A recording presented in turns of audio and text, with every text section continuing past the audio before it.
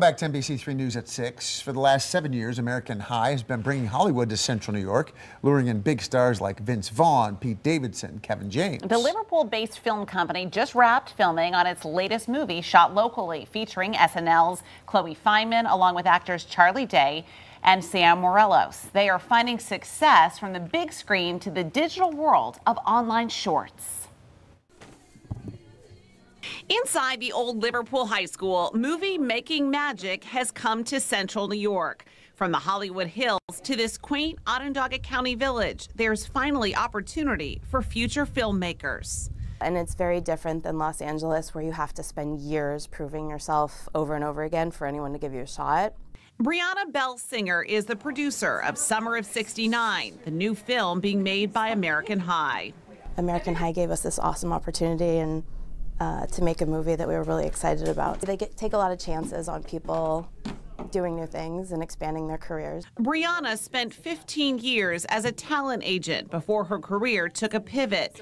Now she's teaming up for the first time with her sister Jillian, who's in her directing debut.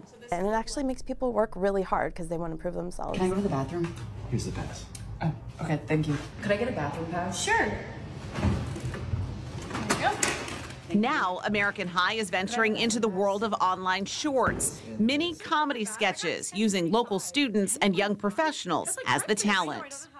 Hi, what lunch period did you get? I got 10 a.m. Who's hungry at 10 in the morning for lunch food? 10 a.m.? That's breakfast. Uh, and so we hired a comedian, kind of like Gen Z SNL, and we brainstorm Monday, uh, write scripts Tuesday, and film Wednesday, Thursday, Friday. Axelle Azouley is the director of American High Digital and associate producer on Summer of 69.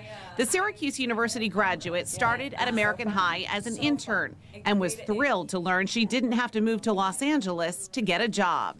Numerous of people who moved back from LA to Syracuse because they want to be home, because they love Syracuse. And as film production finds a home here in central New York, it's giving fresh opportunity to future movie makers here at home.